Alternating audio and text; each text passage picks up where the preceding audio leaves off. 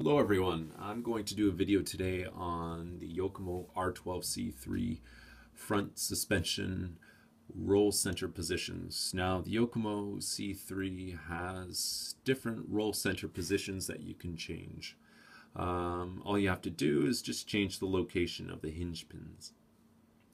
Now as you can see right now, uh, the hinge pin locations are at the kit setting.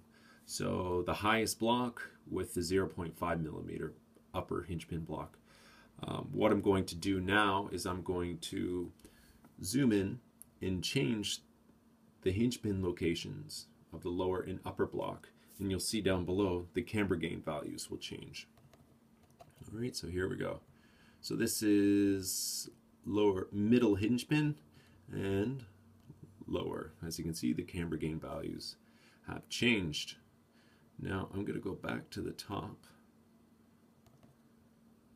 and I'm going to change to the zero millimeter upper block. And you probably can see that the camber gain has changed. And let's go to the middle position and the lower position. There you go. Now, the camber gain values will also change when you change the track width.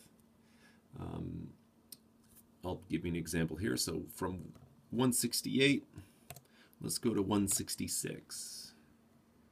And the camber gain values change a little bit as well.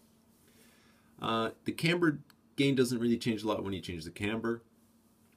Um, anything else? Um, I think that's it.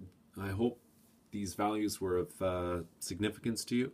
Uh, if you're wondering if you're wondering what program I'm using, I'm using a program called RC Crew Chief.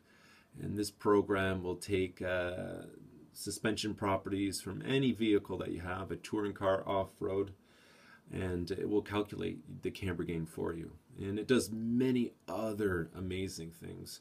So definitely check it out. It's RC Crew Chief, and uh, it really helps with understanding your suspension and what it's doing. All right, bye-bye.